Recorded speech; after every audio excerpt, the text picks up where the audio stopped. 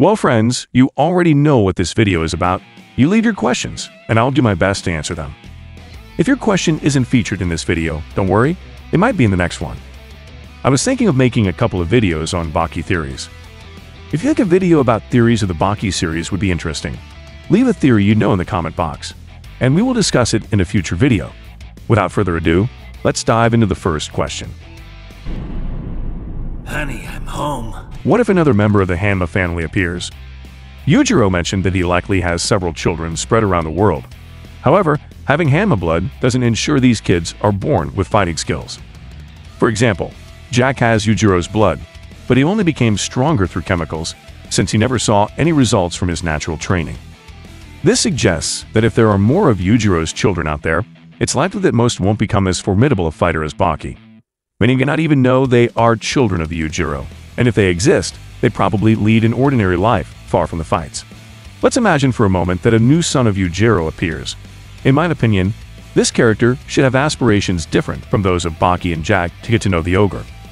While Baki and Jack long to defeat Yujiro as an act of revenge for the atrocities he committed against their mothers, this hypothetical new son should have different reasons. It would be fascinating if, instead of seeking revenge, this fighter wanted to earn the esteem and approval of his father. Instead of challenging Yujiro, he might want to face off against Baki and Jack to protect the ogre from them. Although Yujiro probably wouldn't like the idea of being protected. In previous episodes, we've seen how he took in a young fighter and trained him during the underground arena tournament. Based on this precedent, it wouldn't be far-fetched to think that Yujiro could accept this new Hanma and take him under his wing. How would you like a plot involving the appearance of a new son of Yujiro to unfold I'd like to hear your thoughts and how you would integrate this new protagonist into Baki's narrative. How did Doppo end up inside the dinosaur statue? The scene is extremely comical, and looking for a logical explanation would be futile. However, if I had to give an answer, I'd say that apart from mastering martial arts, Doppo also knows some magic tricks. It would be fun to think that Doppo was inside that statue from the moment it was made. Has Doppo been nerfed over time? The truth is that characters like Doppo are nerfed when the plot demands it. For example, when Alai Jr. appeared, Doppo's defeat served to show us that Jr. posed a real threat to Baki. This strategy is repeated in many other series as every time a new character is introduced, some protagonists are used to demonstrate the new guy's power. I don't think Doppo has been nerfed. Those who read the manga know he has continued to get stronger, and remains one of the most significant fighters in the Baki series. However, Baki and other characters like Yujiro have become so powerful that Doppo isn't on their level anymore. By now, his son Katsumi has surpassed him in terms of skills. Remember, Katsumi now possesses Retsu's arm, which allows him to use Chinese Kenpo, making him a very well-rounded fighter. Some argue that after losing his right eye, Doppo became weak. Although I don't agree with this statement, it's true that by losing that eye, he also lost the ability to use his ultimate defensive technique. Nevertheless, Doppo continues to grow stronger and remains one of the most prominent fighters in the underground arena. How strong is General Strydum? Compared to the power levels of other fighters, Strydum would be considered weak. However, compared to the average human, Strydum is exceptionally strong. In a manga episode, he demonstrated a wide mastery of martial arts, including judo. It is unlikely that Strydum, being a friend of the ogre, is a weak guy without remarkable physical skills. In fact, Yujiro annually challenges him to a fight, and if Strydum manages to entertain him, their friendship is extended for another year. I would say Strydum is a few levels below men like Chiharu Shiba, but he is still an outstanding fighter. What if Pickle fights Oliva Biscuit?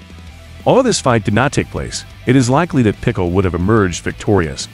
Oliva has a hand-to-hand -hand fighting style, which wouldn't work against the caveman. Mr. Unchained relies solely on his raw strength to win a fight, and as we've already seen in terms of brute strength, Pickle was able to briefly overpower Yujiro, making it clear who would win the fight. Biscuit often underestimates his opponents, so it's likely that Pickle would surprise him with a powerful strike, just like he did with Baki, quickly defeating Mr. Unchained. Oliva's only advantage would be that, due to the hardness of his muscles, Pickle would have a hard time trying to bite him with his fangs. In short, if Baki could not defeat Pickle using force alone, it is unlikely that Oliva can. The real question is, why didn't they ask Oliva Biscuit to escort Pickle to Japan? It's possible they proposed it to him but Oliva turned down the offer for various reasons. Not much time had passed since his fight against Baki, and he likely hadn't recovered from his loss. He's a very proud fighter, so perhaps that pride prevented him from showing up until he felt ready for a rematch. We already know the mindset of the fighters in Baki, so like Jack, don't hesitate to ask for a rematch right after a loss. However, others, like Oliva Biscuit, take more time to reflect before making the same mistake again. Who would win, Doppo or Hanayama? It's one of the fights we haven't seen in the series yet. Personally, I'd lean towards Hanayama due to his endurance and staggering brute strength. Doppo would only stand a chance if he targeted a vital point to knock him out, but it's unlikely he'd succeed. Hanayama is like a tower of muscle and bone. He's a very hard guy to take down. So far, only Yujiro has managed to beat him into unconsciousness with a single blow. With the current versions of the manga, I doubt Doppo could defeat him with just his martial arts. How old is Yujiro? The exact age of Yujiro is a bit unclear due to some inconsistencies in the series. But knowing he was 16 during the war, and that he fathered Baki at around 20, we can add Baki's current age to estimate Yujiro's age. In the Baki-Do manga, Baki is about 18. This suggests that Yujiro might be around 38 or 39 years old. Interestingly, Yujiro isn't as old as some might think. In fact, Oliva Biscuit is actually older. When Biscuit first appeared in that a special episode of the animated series, he was already known as the strongest man in America, meaning he could be around a decade older than Yujiro. These are just estimates because, as I mentioned, the series has shown some inconsistencies throughout its 30-year history. This may be due to Itagaki trying to align his story with the real-world timeline. In any case, I invite you to share your opinion in the comments. How strong will Katsumi become after receiving Retsu's arm? He's expected to be incredibly strong, perhaps even more than Doppo. However, it's still early days since he got Retsu's arm, so we get to see how his martial arts abilities and his proficiency in Chinese Kenpo evolve. If he masters the use of that arm, he will certainly be a force to be reckoned with, but for now we just have to wait. In his most recent match in the Underground Arena, we could see he hasn't fully harnessed his new arm's power, indicating he still has progress to make. Why can't Jack use the demon back? Yujiro himself gave an explanation. He stated that Jack's bloodline isn't pure, suggesting that Jack might not be able to activate the demon back, since his blood doesn't have the same properties as Baki's. Another answer is that the author of the series never intended to give Jack this particular ability. Looking at it from Jack's point of view, he doesn't really want to have any ties to Yujiro. Using the demon back would mean making use of his father's power, something he would probably see as humiliating. He's focused on defeating Yujiro on his own, without relying on Hanma blood.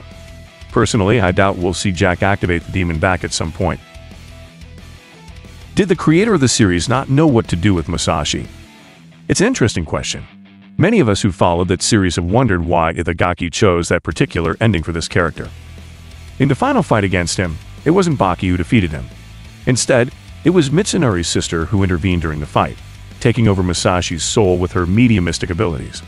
The outcome felt anticlimactic and let down a lot of fans. We were anticipating an epic showdown between Baki and Musashi, but what unfolded felt more like a playful sparring session to them. I began to think that maybe this wasn't the planned ending for the iconic samurai. Moreover, Musashi isn't truly gone. His body is preserved cryogenically and could be revived if someone capable of summoning souls comes along.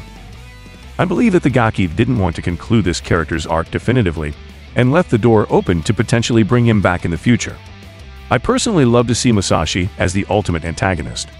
Although he may appear to be a friendly man, in reality, he is a ruthless man who has become cold-blooded after years of living in the midst of war. The thought of an unleashed Musashi is undeniably an intriguing one. It would be great if someone revived him, and upon awakening, he swore revenge against Baki and the others. If this were to happen, I'd like to see the samurai fighting at his full power from the start. The idea of seeing a totally ruthless Musashi in action is undeniably exciting. Is Pickle the first Hanma? There's no evidence directly linking Pickle to the Hanma family.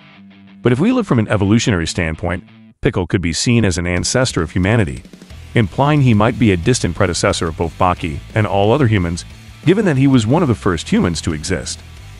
It's intriguing that we haven't seen any other members of Pickle's family anywhere in the manga. This leads me to speculate that perhaps Pickle was the weakest of his family, and that is why he was always alone. Perhaps others of his kind banished him for being so weak and forced him to face a world dominated by dinosaurs. If Pickle was the only one of his kind, I wonder how human evolution carried on, given that Pickle was supposedly frozen when the meteor that ended the dinosaurs hit the Earth. Having said that, Pickle's very existence introduces certain inconsistencies in the plot. However, considering we're talking about Baki, it is better not to look for more realistic answers. Anyway, I'd like to hear your thoughts on the topics discussed in this video. Share your theories in the comment section, and I'll be reading them. And well friends, thanks for watching the video. Don't forget to subscribe if you liked it. I hope you have a nice day or night. See you soon.